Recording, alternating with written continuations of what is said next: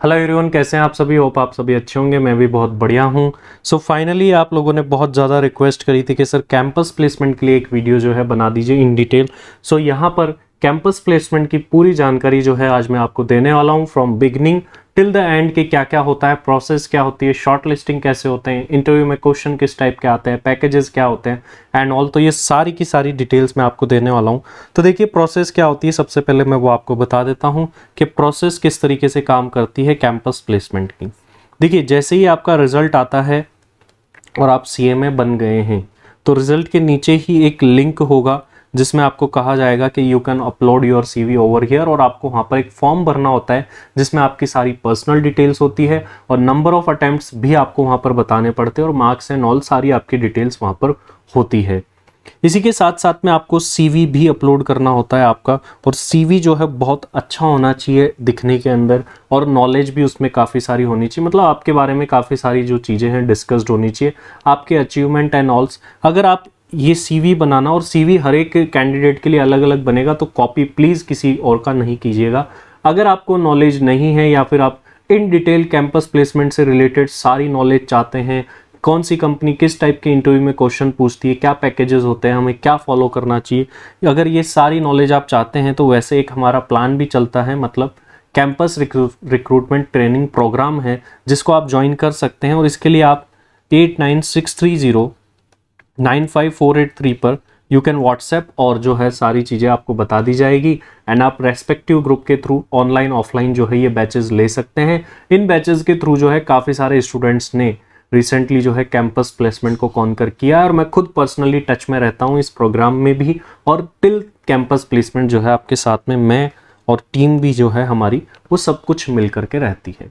तो देखिए प्रोसेस क्या होगा? जैसे ही लिंक है तो आपको वहाँ पर सीवी भी साथ में अपलोड कर देना होगा। और ये डिटेल्स आपको बहुत अच्छे से फिल करनी है और एक क्वेश्चन पूछा जाता है are you ready to relocate anywhere in India जिसमें आपको यस और नो बताना होता है मेक श्योर sure कि आप इसको यस करें yes you are ready to relocate अगर आप इसको नो कर देंगे तो हो सकता है आपकी शॉर्ट लिस्टिंग्स आए ना काफ़ी सारी कंपनीज़ में। हो सकता है एक कंपनी में भी शॉर्ट लिस्टिंग ना आए, क्योंकि कोई भी कंपनी ऐसी रिजिड प्रोफ़ाइल वाला कैंडिडेट नहीं चाहेगी। तो इस बात को आप ध्यान रखिएगा कि जब आप फॉर्म भरे तो इन चीज़ों का ध्यान रखिए। इसके बाद में आती है eligibility short listing and all ये किस तरीके से होता है? तो देखिए बेटा एलिजिबिलिटी जो है अलग अलग तरीके से होती है। कुछ कंपनीज़ जो है, वो ओनली सी एम ए पास चाहिए उनको और कुछ भी नहीं चाहिए और वो शॉर्ट लिस्टिंग कर लेते हैं बेस्ड ऑन योर सीवी और रैंडमली शॉर्ट लिस्टिंग करते हैं। कुछ कंपनीज़ को सी एम ए चाहिए plus sixty percent in graduation चाहिए। ध्यान रखिएगा ग्रेजुएशन के मांगते हैं बीकॉम बीबीए जो आपने कराया उसके। कुछ कंपनीज़ को C M A first attempt चाहिए होता है plus sixty percent throughout tenth twelfth graduation उसमें चाहिए। कुछ कंपनीज़ का ये भी क्राइटेरिया होता है।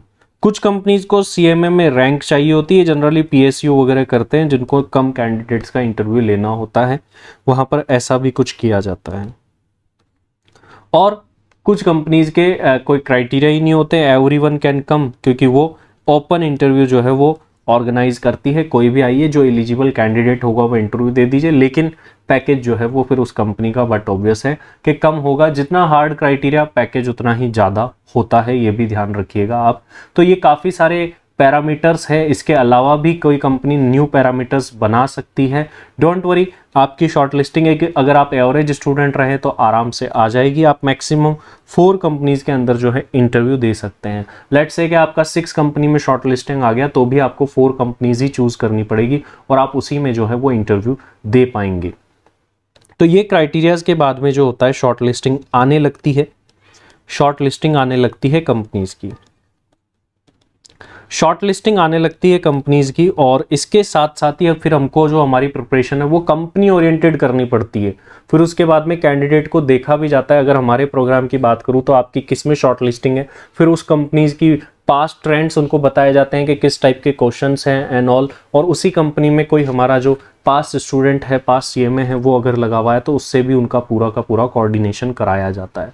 तो शॉर्ट लिस्टिंग जो आ जाती है, उसके बाद में कंपनी ओरिएंटेड जो है फिर आपको प्रिपरेशन कर लेनी चाहिए। आपको कंपनी ओरिएंटेड उस कंपनी की प्रोफ़ाइल वो कंपनी किस टाइप के क्वेश्चंस पास्ट में पूछती रही है, उसी के अकॉर्डिंग जो है आपको प्रिपरेशन करनी पड़ेगी फॉर कैंपस प्लेसमेंट तो यहाँ पर कंपनी ओरिएंटेड प्रिपरेशन जो है वो आपको चालू कर देनी होती है। शॉर्ट लिस्टिंग्स आने लगती है इसके बाद में, जब आप ये फॉर्म वगैरह फिल कर देते हैं। मीन इसी के साथ साथ में आपकी एक ट्वेल्व डेज़ की सीएमए इंस्टीट्यूट जो है वो ट्रेनिंग भी कराता है। जब आप ये फॉर्म भरेंगे जो मैंने बताया था कि जिसका लिंक रिज़ल्ट के साथ मिलता है तो उसके बाद में आपकी एक फ़ीस ली जाती है। I think four thousand approx ये फ़ीस होती है, जिसमें इंस्टीट्यूट आपको ट्वेल्व डेज़ की ट्रेनिंग प्रोवाइड कराता है और जिसमें अलग अलग लोग आकर के सेशंस लेते हैं और आपको बताते हैं और ये ट्रेनिंग लेना मैंडेटरी होता है तो ये ट्रेनिंग आपको लेनी पड़ती है। Then you can appear in campus placement तो ये ट्रेनिंग लेना ज़रूरी होता है। लेकिन ड्यूरेशन काफ़ी कम होने की वजह से नेसेसरी स्किल्स डेवलप करने के लिए काफ़ी कम टाइम मिलता है। तो इस बात का आप ध्यान रखिए कि आप at least at least thirty to forty days का कोई प्रोग्राम जो है आपको ज्वाइन करना होता है। इसके बाद में देखिए कि आगे जब अपन बढ़ जाते हैं तो अब कंपनीज़ किस टाइप की होती है? कंपनीज़ भी बड़े डिफरेंट टाइप की होती है कैंपस प्लेसमेंट के अंदर। कैंपस प्लेसमेंट के अंदर जो कंपनी है, वो एक तो गवर्नमेंट कंपनीज़ आती है P S U and all ऐसी कंपनीज़ एक आपको पब्लिक कंपनीज़ मिल जाएगी। गवर्नमेंट भी होती है, लेकिन पब्लिक कंपनी से मेरा मीनिंग है थोड़ी बड़ी कंपनीज़ और पब्लिक में। टाटा रिलायंस नेस्ले ऐसी कंपनीज़ कुछ प्राइवेट कंपनीज़ भी होती है। इनका पैकेज थोड़ा सा कम होता है। इसके अलावा एमएनसी कंपनीज़ में भी मैं इनको बांट सकता हूँ और कुछ प्रैक्टिसिंग फॉर्म्स वाली भी कंपनी होती है। प्रैक्टिस वाली।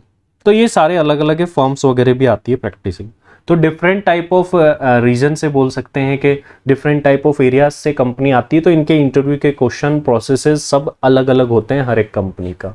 तो इन डिटेल गाइड आपको तभी दी जा सकती है जब आपकी कंपनी पता हो कि शॉर्ट लिस्ट किसमें लेकिन मैं आपको बता देता हूँ कि क्या क्या क्राइटेरिया हो सकते हैं कंपनीज़ के। पैकेजेस सबसे ज़्यादा जो है गवर्नमेंट कंपनीज़ ही देती है M N P S use M N C average package देती है, लेकिन इनमें थोड़ा वर्कलोड जो है कम होता है और एक कॉरपोरेट कल्चर आप एंजॉय कर सकते हैं। पब्लिक कंपनीज़ ऐसा है कि पैकेज थोड़ा सा ज़्यादा देती है, लेकिन इनमें corporate culture as per past experience बता दूँ, थोड़ा कम ही मिलता है। आपको बहुत ज़्यादा मेहनत यहाँ पर करनी पड़ती है। प्रोसेसेस क्या क्या होती है? Different different companies different different तरीके से जो है अपनी शॉर्ट लिस्टिंग और उसके बाद का काम करती है। कुछ कंपनीज़ शॉर्ट लिस्टिंग ही तब करती है जब वो रिटर्न टेस्ट ले ले। रिटर्न टेस्ट के बाद शॉर्ट लिस्टिंग करती है। अब इस रिटर्न टेस्ट में आप लोगों की एक्सपेक्टेशन क्या रहती है? हमसे पूछेंगे कॉस्टिंग अकाउंटिंग टैक्सेशन लेकिन नहीं, यहाँ पर पूछा जाता है रीजनिंग आपसे जनरल एप्टीट्यूड की चीज़ें पूछी जाती है, एक तरीके से कह दूँ तो मैं। जनरल एप्टीट्यूड के साथ साथ फिर अपना जो सब्जेक्ट नॉलेज है, वो भी पूछा जाता है।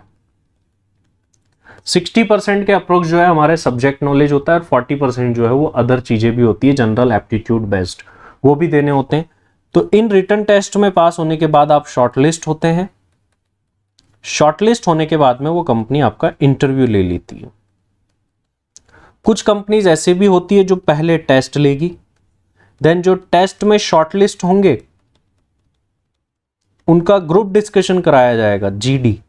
और जीडी में जो सिलेक्ट होंगे, फिर उनका इंटरव्यू कराया जाएगा इस तरीके की भी प्रोसेस होती है। कुछ कंपनीज़ की प्रोसेस होती है test then direct interview generally ये पीएसयू कंपनीज़ में ज़्यादा देखा जाता है इस टाइप और कुछ कंपनीज़ ऐसा होती है direct only and only interview direct interview पर ही सिलेक्ट करेगी, वो कंपनी बाकी कुछ भी नहीं। तो these are the many things test हो सकता है जीडी हो सकता है आपका और इंटरव्यू आपका हो सकता है। तो ये डिफरेंट चीज़ें, इन सभी के लिए अपन को प्रिपेयर रहना पड़ता है। और इंटरव्यू में डिफरेंट टाइप ऑफ़ क्वेश्चन जो है पूछे जाते हैं। इसमें सारे के सारे सब्जेक्ट से रिलेटेड क्वेश्चन लेकिन कुछ स्पेसिफिक टॉपिक्स होते हैं जिन्हीं पर फोकस किया जाता है इंटरव्यूज़ में। और किस तरीके से इंटरव्यूअर को आपको आंसर देने होते हैं प्रेजेंटेशन कैसे होती है, वो सब कुछ जो है, ये आपको मॉक इंटरव्यूज़ एंड ऑल देने के बाद ही क्लियर होता है। तो अगर आप ऐसा कोई प्रोग्राम चाहते हैं तो पास्ट रिकॉर्ड्स काफ़ी अच्छा रहा है, हमारा बहुत अच्छे कैंपस प्लेसमेंट हुए तो आप इस प्रोग्राम को ज्वाइन कर सकते हैं कैंपस प्लेसमेंट वाले को, वरना आप जो है खुद भी प्रिपेयर कर सकते हैं। कंटेंट जो है हर जगह यूट्यूब पर भी अवेलेबल है फ्रीली तो आप वहाँ से भी कर सकते हैं। लेकिन exclusively campus placement based training के लिए आप मुझे यहाँ पर व्हाट्सएप करके भी वो ज्वाइन कर सकते हैं। वहाँ पर आपको क्या होगा कि सी के ही कैंडिडेट मिलेंगे और उसी के अकॉर्डिंग आपकी preparation and competition and all होगा। तो ये सब कुछ हो जाने के बाद में अब क्या होता है? अगर आपने कंपनी में इंटरव्यू अच्छा दिया है तो आप कंपनी में हो जाते हैं सिलेक्ट सेलेक्ट होने के बाद में आपको जनरली जो है मैनेजमेंट ट्रेनिंग या ऑफिसर ट्रेनिंग की तरह रखा जाता है एंड कुछ सिक्स मंथ्स या वन ईयर्स के बाद में जो है आपको ऑन रोल्स कर दिया जाता है मतलब फिक्स्ड कर दिया जाता है आपको। अब बात करते हैं पैकेजेस की रेंज सबसे ज़्यादा पैकेजेस जो है पीएसयू कंपनीज़ देती है आपकी। पैकेज में बोलूँ कैंपस प्लेसमेंट में जो एक्चुअल में देख रहा हूँ, मैं झूठ नहीं बताऊँगा। मिनिमम से मिनिमम फोर लैख तक भी जा सकता है, फोर लैख टू। 19 लाख का जो है ये पैकेज अपन को देखने को मिलता है टिल नाउ हाईएस्ट जो है 19 लाख। ये ओ इंडियन ऑयल ऐसी कंपनीज़ जो है ये पैकेजेस भी ऑफ़र करती है। और मिनिमम साइड में फोर लाख तक भी जा सकता है ये पैकेज तो this is the package range और एवरेज पैकेज बात करूँ तो सिक्स टू एट लैक्स के अप्रोक्स जो है आपको ऑल एंड एवरेज कंपनीज़ की तरफ़ से देखने को मिल जाता है। कंपनीज़ काफ़ी सारी आती है कैंपस प्लेसमेंट के अंदर। तो अगर पीएसयू कंपनीज़ तो आती है, जिसमें ओएनजीसी हो गया इंडियन ऑयल हो गया, या और भी काफ़ी सारी पीएसयू कंपनीज़ आती रहती है। इसके अलावा पब्लिक कंपनी में आईटीसी कंपनी जो है हमेशा आती है। वेदांता कंपनी जो है वो हमेशा आती है, नेस्ले जो है वो हमेशा आती है। तो इनके इंटरव्यू कैसे लिए जाते हैं? हम पहले से प्रिडिक्ट करके ही प्रिपरेशन स्टार्ट कर सकते हैं तो आप भी कर सकते हैं। गाइड के लिए आप मुझसे व्हाट्सएप पर बात कर सकते हैं। ये नंबर है, इस पर कॉल का हो सकता है, जवाब ना मिले, आपको व्हाट्सएप के थ्रू सारे आंसर्स मिल जाएँगे।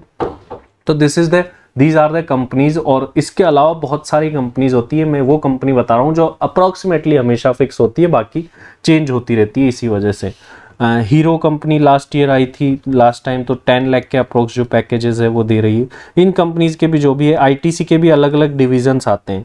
एक आईटीसी लिमिटेड आती है, एक आईटीसी लाइफस्टाइल आती है, एक आईटीसी फ़ूड आती है। तो अलग अलग डिवीज़न आते हैं आईटीसी के भी। तो आईटीसी होटल्स आती है। तो आईटीसी अपने आप में चार कंपनीज़ हो जाती है। तो काफ़ी सारी अपॉर्चुनिटीज़ कंपनी के मामले में आपको शॉर्ट लिस्टिंग में मिल जाती है then you have to perform लेकिन कंपटीशन का एरा है कंपटीशन बहुत ज़्यादा है, इसी वजह से अकॉर्डिंगली प्रिपरेशन करनी पड़ती है। इसके अलावा हमारे में आईटी स्किल भी डेवलप्ड होनी चाहिए लाइक एक्सेल से रिलेटेड नॉलेज और एसएपी से रिलेटेड नॉलेज अगर ये नॉलेज भी नहीं है तो डोंट वरी अगर आप सीआरटी प्रोग्राम में आ रहे हैं तो आपको वहाँ पर ये भी दी जाती है नॉलेज और अगर आप वहाँ नहीं आ रहे हैं तो आप इस चीज़ को प्रिपेयर कर लीजिएगा अच्छे से। आप आपके आसपास लोकली भी कहीं इन चीज़ों को, दो को अच्छे से रखिएगा। देन बात आती है आर्टिकलशिप के क्वेश्चन क्योंकि आर्टिकलशिप से रिलेटेड काफ़ी सारे क्वेश्चंस पूछे जाते हैं। तो आर्टिकलशिप में आपने क्या क्या काम किया, किस काम को कैसे एक्सप्लेन करेंगे प्रोजेक्ट्स कैसे करेंगे, आपके अंदर से स्किल खोज करके निकालना, ये सारा काम सीवी के अंदर होता है। और मेन चीज़ इज़ अवर कंटेंट ये जो कंटेंट है सी से रिलेटेड मेन वो है डोमेन है मेन ये ज़्यादा मेन चीज़ है। बाकी चीज़ें है इंपॉर्टेंट लेकिन ज़्यादा इंपॉर्टेंट ये होता है कि आपकी आर्टिकलशिप से रिलेटेड और डोमेन से रिलेटेड चीज़ें जो है, वो ज़्यादा इंपॉर्टेंस रखती है, क्योंकि आफ्टर ऑल वो आपको accounts department finance department taxation में रखने वाले हैं तो वो चीज़ें जो है, वो आपके लिए ज़्यादा इंपॉर्टेंट होती है। रही बात कम्युनिकेशन स्किल्स की तो वो तभी डेवलप होगी जब आप एक ग्रुप के साथ में ये सारी प्रिपरेशन करें ग्रुप के साथ में रहें सीएमएस के साथ में रहें, तब ये स्किल्स जो है ऑटोमेटिकली डेवलप होती जाती है और उसको डेवलप कैसे करना है दैट वी नो और इंस्टीट्यूट की ट्रेनिंग में आप जाएँगे तो जो भी आपको जहाँ भी बोलने का मौका मिले तो आपको ज़रूर से उसको ग्रैप करना चाहिए और वो भी आपको करना चाहिए। तो ये पैकेज मिलने के बाद आप हो जाते हैं appoint so this is the detail process जो मैंने आपको बताई, इसके अलावा भी आपका कैंपस प्लेसमेंट से रिलेटेड कोई क्वेश्चन रह जाता है तो यू में आस्क मी के, सर, और भी कोई चीज़ अगर आप जानना चाहते हैं तो आप फ्रीली आप जो है कमेंट बॉक्स में लिख सकते हैं, मैं आपको श्योरली आंसर दूँगा। अगर आप इस कैंपस प्लेसमेंट से रिलेटेड प्रोग्राम का हिस्सा बनना चाहते हैं, इस नंबर पर आप व्हाट्सएप करके उसका हिस्सा भी बन सकते हैं। तो अभी के लिए इतना ही थैंक यू वेरी मच और भी गाइड्स के लिए आप कमेंट में लिख सकते हैं, मैं श्योरली आपको रिप्लाई करूँगा। Thank you very much Bye bye.